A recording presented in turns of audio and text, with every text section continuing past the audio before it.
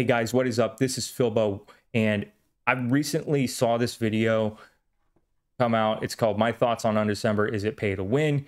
It's by Zizaran, and if you don't know who Zizaran is, he's basically a Path of Exile Giga Chad, and really good dude. I watch him actually play PoE on occasion, and he's got some really good insight. He'll play some other games as well sometimes. So I enjoy watching him. So thank you, Ziz, for taking the time out to check out Undecember because I'm pretty sure he did a review on Undecember like a couple months after it came out in 2022, maybe like right after it came out. So thanks again for taking the time. Me, I'm Philbo. I have been playing Undecember for I don't know, about 2,000 ish hours over the past year or so since the game came out.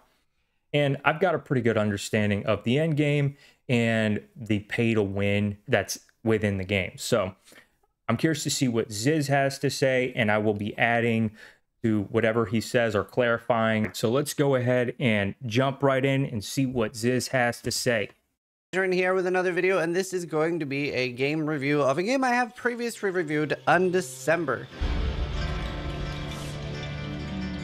A lot of my viewers started messaging me saying that they've removed a lot of the monetization. I think at some point they said something, oh, they removed all the monetization. I'm like, I don't, I suspect that's not true because the game itself was quite fun when I played it. And my biggest point of contention was the monetization was really bad.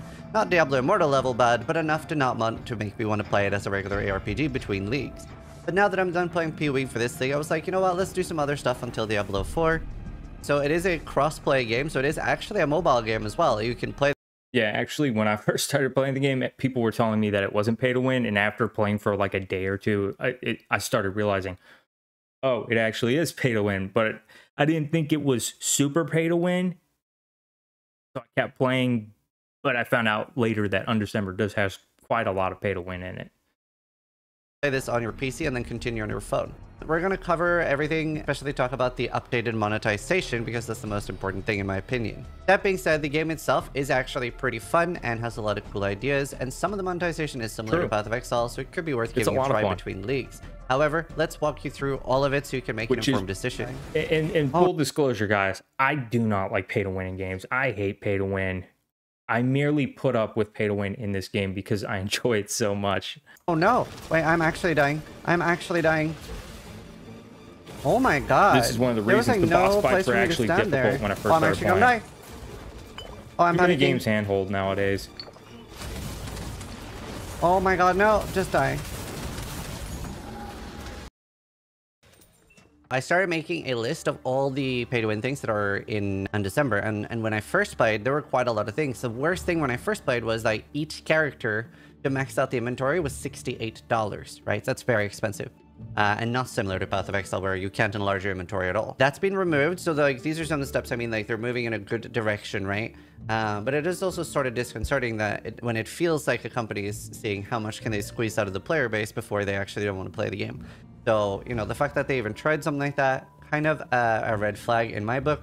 But they've like maxed all the inventory stuff. Everybody has that for free now. And from what I could gather, you can no longer buy jewelers, fusings, or chromes, like things to increase sockets, links, or uh, colors on items. You can't buy that in-game anymore for the uh, dollar stuff. So that yeah, so what he was saying about the inventory space was a huge deal for so many people, myself included.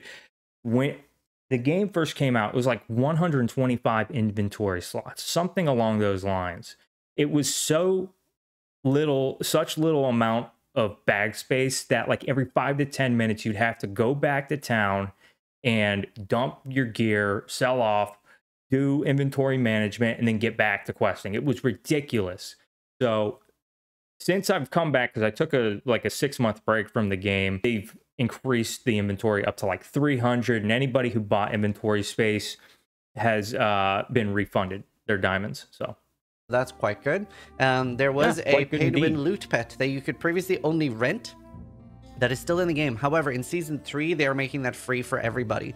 Uh, and that's actually from a lot of people in my chat that I have regularly played Undecember, that it was enough for them to come back so they're excited about that. I think that's worth mentioning. Yeah that's a big deal. So the the pet feature is the auto loot function in the game. And the pet must be purchased by either money, real money, or auction house currency, which you can grind and make auction house currency. Like you could work the auction house if you want, but it's tedious and I don't like doing it personally. So I know a lot of other people don't like it as well. So it's being removed.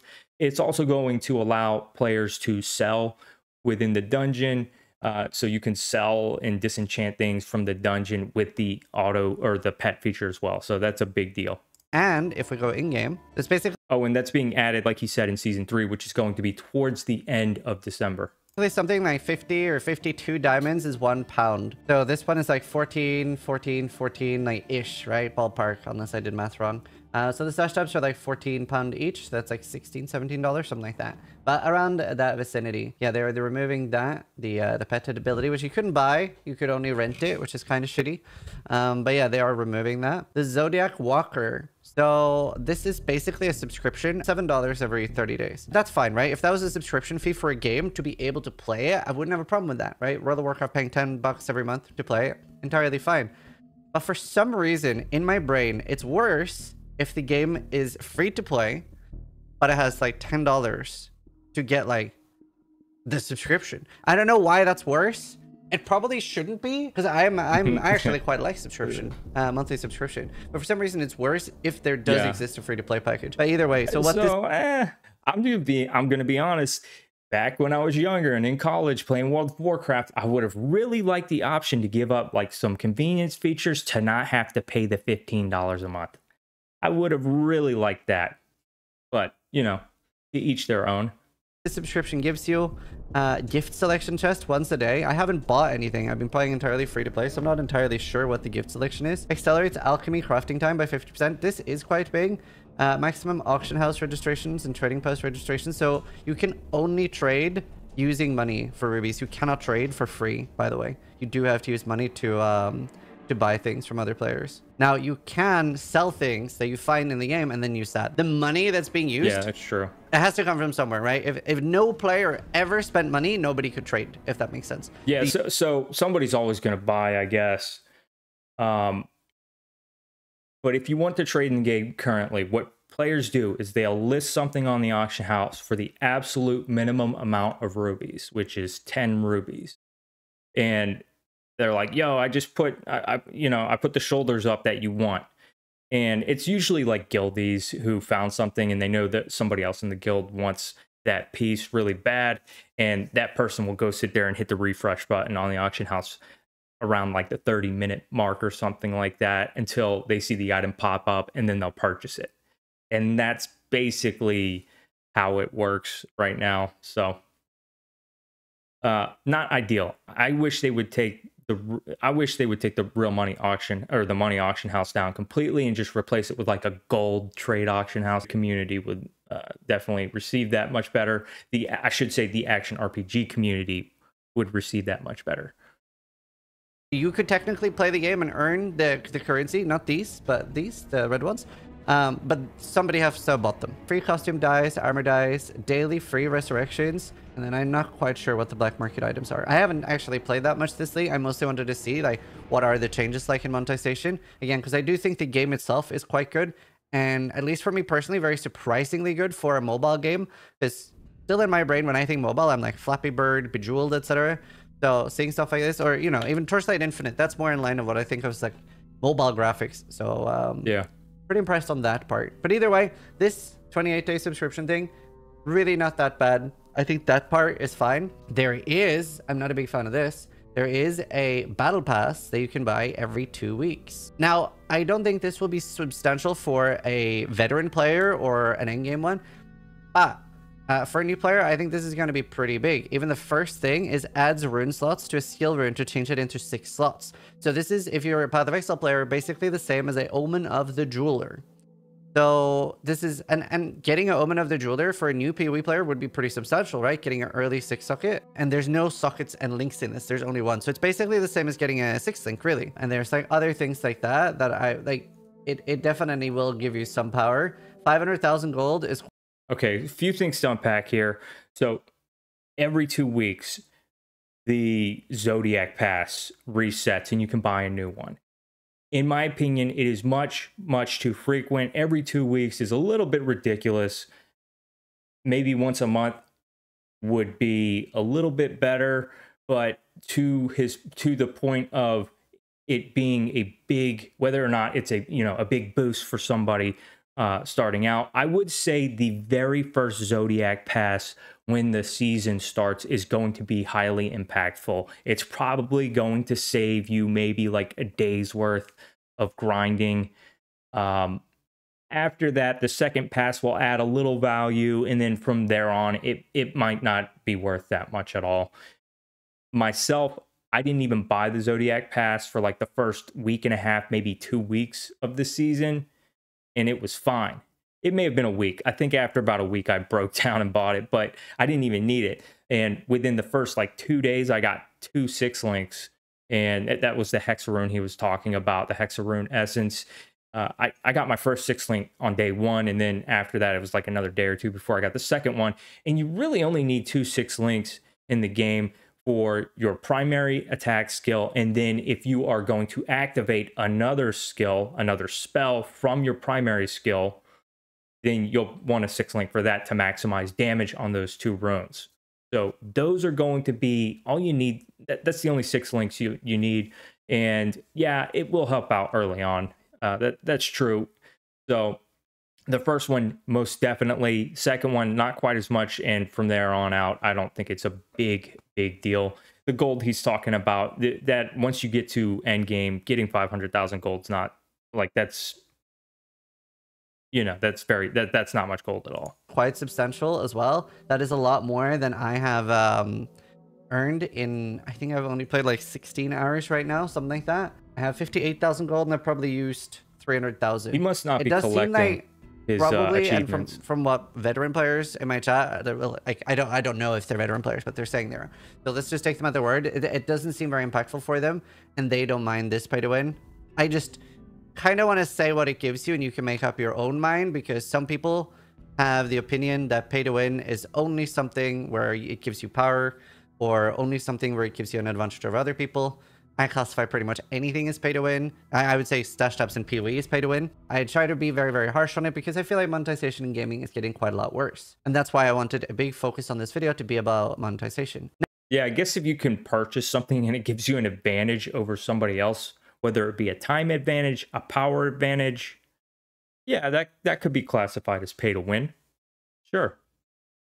Now, Even another thing, like a, a and I've changed my opinion on this slightly, but the auction house. That being said, certain levels of pay to win are much much easier to digest than others. Like there's a threshold. There's a threshold, man. If you pass a certain threshold, it's over. You could technically drop fifty thousand dollars and buy anything on the auction house. Was what I was saying, and this is kind of dis- disingenuous. Disingenuous? Anyway, hard word for me. Shouldn't use it because there's not that much for sale. So this is sort of a dynamic problem. So let's search for every single armor and there's no filter for like level or anything like this. If I scroll down, so this is like gloves, helmet, boots, body armor. And that was the total amount of things for sale. So while yes, you can technically drop, to be fair, to buy anything right now, I think if you buy every single thing on the auction house, oh, this one's pretty expensive. I don't know if it's actually very good or not. But yeah, there's not actually that much you could buy. So Don the Crown pointed out that like, yes, you can buy anything for money, but there's not that much listed. There's not that much listed because there's not like a whole lot of players in the game actually doing uh doing the auction house. Uh, the game's population isn't near as large as it was when it first started out if it were, there'd be a lot more on the auction house and the prices would be higher because when the game started out, the prices were much, much higher than those prices I was seeing just now. So it's probably as a result of uh, just low populations, people who are whaling hard. I don't know that they'd want to go to a low population game though. I, I'm not sure. This is also seemingly the only way to trade. So there doesn't seem to be like, you know, item to item trading or anything like that. And this would be a problem the more stuff there is on the auction house. So I think this is quite bad. So I would love to see them remove something like that. Another thing is there is uh, yeah, crafting and especially synthesizing runes is pretty important from what I understand. In gameplay, so they're pretty much always synthesizing and trying to get like runes that are like drop only, etc. You can pay to speed that up, which I'm inherently very against, even in games like Warframe and stuff like that. Anytime that you can pay to speed something up, the developers are always incentivized to make it worse when you don't speed it up, right? This is a very classic mobile game technique to elicit payment from players by like, I'm just gonna pay two dollars to speed it up. It's only two dollars. Before you know it, you spent fifty, right? And I'm very happy with the game trying to elicit like anywhere from like thirty to up to hundred dollars from me. Like I've paid hundred and thirty dollars from Tarkov, and I'm very happy with that. So I'm okay with anything in that price range. But whenever I feel like a game is trying to get like 500 a thousand dollars out of me and is very very trying to nickel and dime me every step of the way i get very unhappy and again like i said monetization is getting so much worse in games so i try to be very critical now That that, is being true. said i have played for 20 hours now completely free to play and i have not even felt any modicum of needing to spend money some players have said, especially in previous seasons, that it was hard to play at endgame without spending money, and a lot of people were That's saying true. that it is fine to play at the endgame without spending anything except for stash tabs. Now, this Yeah, is similar yes. to Path of okay, Exile. what he says is true. You can you can easily play the game without spending any money at all. But I would say there are a few, like three stash tabs that I would absolutely have, like me personally, that I would absolutely have to have to play the game without wanting to break my keyboard over my head because the inventory management would be absolutely ridiculous without three of the tabs that I'm thinking of. So, everything else, I don't think you need to buy. Those stash tabs, I do. Even the alchemy uh, desk thing he was talking about uh, earlier, I don't think it's a, a big deal. I, I don't currently have the alchemy speed boost. It's not a pain point for me. So I can't fault that too much. That would be very hypocritical of me. I have no problem with stash tab monetization in Undecember, nor do I in Path of Exile. But the fact that these other things exist are really, really off-putting to me, and it makes me not want to commit to stash tabs. Because what if I later start feeling like, oh man, I could just put five dollars in here and, and have a better experience, and I don't want that. If they didn't have the battle pass and they didn't have the auction house and the speed up mechanics, I would probably regularly play this for one to two weeks every like PoE season, right? When it dies down a little bit, um, because the game has a lot of things going for it that is really Yeah. cool. But I'm very, very negative I about the monetization, and I want either. to get that out of the way first, so that people have an idea what they're getting into. I give the game a five out of ten pay to win. Another downside, I kind of want to just get I think that that's pretty fair. It's not super pay to win, but it's not little pay to win either. get all the Definitely. downsides out of the way before I start talking about good things. Uh, at least I'm not a big fan of the fact that the game has it's not there. Um, loads of like receive all. Yeah, this- like, this is annoying. collect things. He's right. This is It- like it one of my annoying. least favorite things. This is very very mobile, so you do have to do that every now and again. Thankfully, they have a receive all button, but you do have to like It's something that it almost it- like they give you an achievement for actually receiving the achievements. It's like they give you an achievement for literally everything. It's it's absurd. And so you're constantly collecting. go and collect things and like figure out where they are and It is nice when you need extra gold, and, though. like yep and then now i'll start talking about some of the upsides and some of the really cool things about the game Something I really want to give it a lot of praise for is its skill system. This is basically similar to what that we. It, it's kind of similar to what we're gonna have in Path of Exile 2. So we can go go to the rune enchant, and let's say this is my bursting rune knight. So I can put that in here, and they do have like auto repeat settings and stuff. If you want to like do it automatic and just set like, hey, I want it to be a six socket. Don't don't stop until we get that. Gather minions. So now I can like boom. Now it's two socket. Now it's two socket. Now it's two socket. Now it's two socket. Now it's four socket. Now like, you know what? Maybe a four socket. And this is in Path of Exile terms, basically a four socket four link as well. The rune link essence, what it'll do is it'll move those. So it'll move them around. And then we have the chrome basically, which will recolor them. Now the way that works is, for example, here I have quick cast, which is a support gem. So this like changes the way the gem works or the skill works. And then here we have a active skill gem, lightning, chain lightning, basically arc from Path of Exile. Um, quick cast, I have faster casting with arc, and then I have cast on cast, which I love when games have. I wish Path of Exile really had cast on cast uh, instead of like cast on crit and things like that, because usually there's no spell on spell in Path of Exile as easily as it is here. So basically, Got the way this works is I have action. uh, Frost Thorn, some sort of Ice Bolt, is being casted when I cast Lightning Chain. So you know you can see that, and I could have another like few damage before. support here, here, here, here, uh, and changing the way that works, and then I could have another there. So you know. You see, there's quite a lot of customization there. This is one of the things that drew me into the game is that the, way you build your character is so much fun with the rune board system here. And I can tell you that the rune board is kind of like a thumbprint. It's like your thumbprint. There's no two thumbprints that are the same. There's no two rune boards I've ever seen that are like exactly the same. There's just everybody has their own little flavor going on, very unique and uh, it's it's it's pretty exciting actually to even go through the leaderboards and look at everybody's rune boards and see what they're doing. The ones who don't hide. So uh, I love this system. I really enjoy it. I'm glad Path of Exile 2 is going to be doing something similar to this. I'll be really excited to try that out. And that's just for that one skill. And then I have a summon here, that my summon, and this is the while I'm like currently using to clear, and honestly it's doing carrying me pretty hard right now. So I have additional poison damage, multi-shot, minion speed, fine weakness, and the fine weakness is linked to both bursting rune knight and um, my poison arrow abyssling. And then uh, additional fire damage is on my bursting rune knight too. And I could technically get like minion speed or another another support gem down here. Uh, and I could easily just move... Oh, I can't move in the screen. I could move the teleport down here to make some more space. So you have some cool customization here, and later in game you can unlock these side slots there. Unlike Path of Exile, skill gems don't level up. You actually have to level up skill gems yourself. It's called Rune Growth. So it'll cost these uh, earth elements. I think there are others as well that you can get. And you just choose which ones you level up. So, and, and they'll be based on your stats and stuff like that as well. Other things that are quite cool, this is a little bit similar to Grim Dawn. You have stats in the middle, so this is very, very, very basic deck strengthening. So I might want like a little bit more life, a little basic. bit more int. This is also for like leveling gems. Maybe I'll need some dexterity for some gear. And um, then we have the Zodiac system. So it starts and you have to choose a talent one system, level basically. one skill, right? Or one level one Zodiac. So I went for minion, and once I've put five points in here, I unlock level two. Now, I could have chosen the other ones too, which is, you know, caster stuff or uh, attack stuff.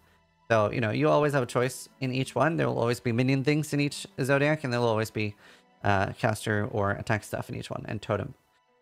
So, yeah, one thing about this is it, it each one of these little nodes has trait points, like many trait points within the node here. So like this is going to have its own set of trait points. This is going to have its own set. This is going to have its own set. And you pick enough within each to be able to progress further on. And it seems like a lot at first, but once you dig into it, it's pretty straightforward what the obvious choices should be. So.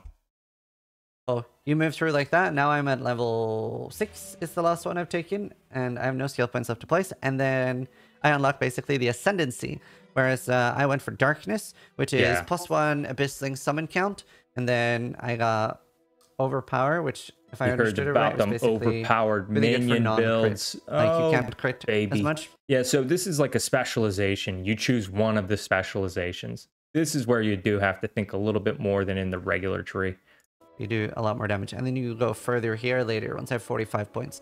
So very, very similar to Ascendancy points in Path of Exile, which is kind of cool uh, and a decent system for that. It wasn't too hard to figure out either once you realize the way it works. Gear, it yeah, has a new system that's supposed to be slightly less complicated. Um, so I'm playing hardcore right now. There is a benefit to playing hardcore in this game. You get better drops and more drops. Um, they also have an origin mode, which I think you have less or more limited crafting.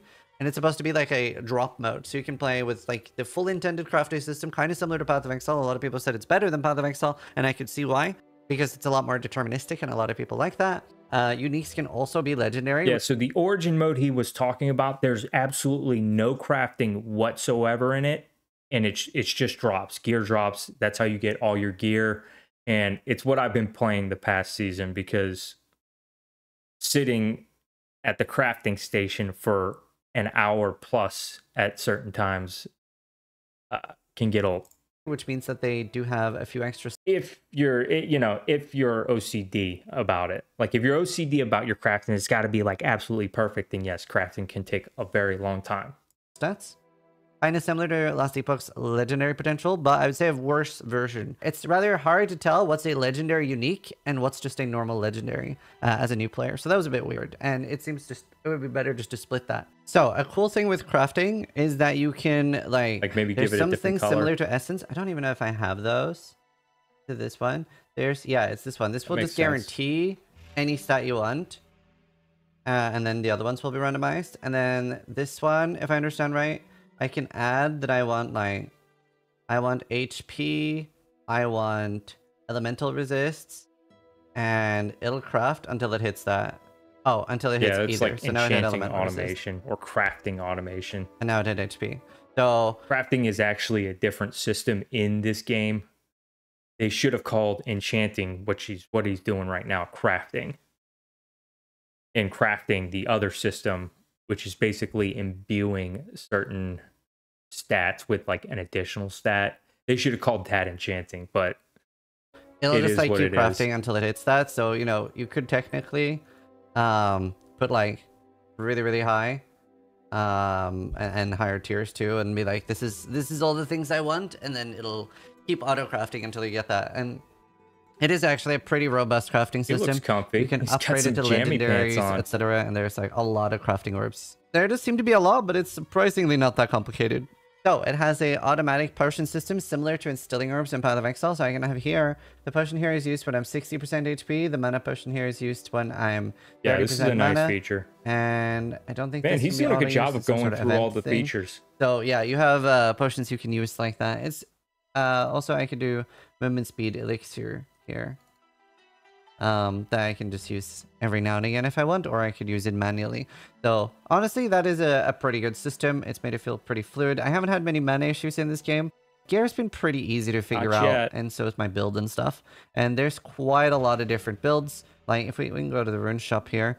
So you have active gems, and then you have like you know strength dex intelligence gems and then you have a lot of support gems etc and then there are different acts and you can similar to path of exile buy different gems from different acts and like i said there are some drop only ones. And yeah um right now minions are apparently very strong and other patches there will be other things right? It'll be like most Stupid rpgs strong. with the different It's, metas like, loads of cool boss fights and stuff during the campaign and normal monsters have been complete pushovers i've never felt in danger from normal monster. I'm starting to get slightly squishier now at the end uh, but I also haven't upgraded my gear much in like 20 levels, mostly been equipping uniques I find. Bosses, however, I've had several close calls. I have not actually died yet, but several close calls to some of the bosses, so they're really, really cool. I do feel like it has really good impact and sounds and stuff like that I've been like at a level that's fine for me. The loot here has been a little bit boring to find. Like legendaries and uniques are a little bit interesting, but at least the loot uh, at lower levels have not been that fun. Yeah, I'll say that loot is not that fun with when you're playing enchanting modes, but if you play Origin and you're actually dropping anything that drops can be a potential upgrade for you, it's much more exciting. Like if uh, a, le- a a legendary item drops or a unique drops while you're going through the campaign in Origin, much much more interesting. I guess uniques would be certain uniques would be uh, you know good in any game mode but legendaries that drop or even rares can be a lot of rares can be upgrades in origin mode. It's a much more exciting gearing experience in my opinion because i felt the same exact way when i first started playing Undecember. I didn't feel that excited when the gear dropped but that changed when i played origin Now I haven't in tried fact origin the way that origin works it almost gives me like diablo 2 classic vibes where you, if you drop like a rare ornate plate you'd be like oh god eh, this might be an upgrade lot actually that myself sort yet. of uh, Um, I don't feel like that's been that important because I have quite enjoyed the game itself, right? So I'm already quite happy with the game. And from what I'm hearing, uh, Don the Crown has been telling me loads about the end game. It has one system that looks similar to like synthesis and like really, really cool with maps and stuff. And I think you have two different map systems. And then you have a lot of different boss things. And you have like a boss gauntlet that keeps increasing in difficulty, it seems. So there is quite a lot to do at the end game. And a lot of it looks fun. And some of it's supposed to be very difficult. Some things that are, yeah, like, people some- haven't some even done yet from what I'm hearing. for sure Um, so that's pretty cool. So uh, for Endgame, there what he was talking about is the um the Spire is kind of like a waves sort of a uh, gameplay mode where you fight against wave after wave after wave, and you get lots of gold um, as a reward for it. There's also uh, raids, so daily raids, in either descent raids, which you can go into with a group of people, or guild raids, which you go into with your guildies and those give rewards. Uh, some are more difficult than others. Some are loot pinatas. Some you actually have to do mechanics for. And then you know there's there's other things like void rifts. So void rifts would be just like a just boss fights, one after the other. It's like one stage after the other, and there's like uh, I think there's like 99 bosses. There's like 99 stages you got to get through. I haven't even gotten through half of them this season. They get really, really hard. You'll have to fight like two, uh, three bosses at the same time sometimes, and you know they scale up. So you got to actually push your character beyond to be able to take on those next bosses in Void Rift. So and then there's like your traditional mapping, which is like what you do. You're you're doing farming. You're, you're farming whenever you do your chaos dungeons or, or your mapping. So uh, that's just some things off the top of my head. Those are the primary end game uh, game modes. And honestly, uh, it is worth giving a shout out to Don the Crown and go check him out and ask him more about endgame stuff. And he does play it a lot more. So go there for even more information and you Don can see him the doing the endgame content and things like that. player, That'll be an even more informed point of view than mine. But at least the game is moving in a better direction. I still think they should remove some of it. Quite a lot of cool things about the game, like a lot of different builds you can do. The campaign is decent. I haven't paid attention to the storyline at all, but you know, it, it just decent density and stuff, and it feels quite fun to play. If the monetization went a little bit better, I would like to see the monetization go down to like what I would consider a three out of ten or a four out of ten. Like I don't mind a wonder game having like take. some things, What would it but take? it's like I don't know. I just I really hate any speed up mechanics being in a game. Hmm. The reason for that is I feel like uh, the developer becomes very easily incentivized to make the non-premium or the non-paid experience worse. Right? That's always the number one bad thing in a game. If you're wondering why I'm so critical. I'll continue to be very harsh against monetization in games. thing. It is a lot better now. That's why I want to do uh, try it out again and uh, see. But yeah, um, still has what I consider not ideal monetization. Very fun game. Uh, definitely not bad to check out if you're bored while waiting for the PoE launch. It is also worth mentioning that under. I think that while there have been some things taken out to help the mon uh, the pay to win uh, in the game, I think that there's still not quite as much, but almost just as much pay to win in the game as when it first started. And I'm just saying this just to be fully transparent, in my opinion. Uh, you can buy any piece of gear off of the auction house. You can buy almost any material to help your character out, like increase rune growth, get uh, gold, more gold. All this stuff can be purchased purchased off the auction house if other players list it. There are certain things that used to be able to buy without any limits on, but now things are just being put on the auction house. Like you can buy any essence you want just about to help improve your character. So I don't think that the pay to win situation is that much better personally. That's just me personally, and I know there's going to be some undecember players who are like, "Yeah, you're you're you're full of it." No, bro. Come on. If people can buy almost anything they want off of the auction house, then that is some serious pay to win. And I'm willing to admit it. I don't like it. I wish they would change it. So I just had to put it out there. That's my opinion on it. December has a like rootkit that it installs on your PC, which a lot of people don't want, right? It's basically an anti-cheat and it gets a lot of access over your PC. Now, this is similar to a lot of other games you play, like Escape from Tarkov, Apex Legends, Lots of other uh. Lost Ark, Valorant, etc. So, you know, probably if you're okay with those games, then it's probably not a big deal. But if you don't want a rootkit on your computer, completely understandable. So either way, I hope you guys enjoy me checking out games like this and and reviewing them. And uh, just in case somebody asked, this was not sponsored. I haven't been sponsored by them. I got sponsored, but that was when it was absolutely fucking garbage and not worth playing at all. uh, and it's at least getting better now. So thanks for watching. Let me know any feedback on my game reviews and if you liked the video, but more importantly, try to die less than I do. Hey, thanks, Ziz, for taking the time out to check out Undecember again. Really insightful. I think for the most part, you were pretty spot on. Your viewers seemed to know what they were talking about. Uh, I still think, personally, think that the game is fairly pay to win, um, but it's still a really fun game. So even though, I, like I said earlier, even though I don't like pay to win, I'm willing to put up with it in this game because I really enjoy it. It's a lot of fun all of the content in the game can be done without spending a dime. It doesn't like there's nothing you can't do. There's no pay wall, so to speak. So uh, now, if you've got to be the number one person on the leaderboard, then that's going to bother you. It's going to bother you that somebody could purchase power and basically uh, exceed you on the uh, leaderboard simply because they bought their gear or improve their character with certain essences that they've bought off of the auction house. So that is just my, my feelings on it right now. Super fun game. If you're okay with other people potentially buying things and you just want to enjoy the game for what it is, by all means, go ahead. You're going to have a good time. So that is all I've got. Thanks again, Ziz. I will catch you guys later.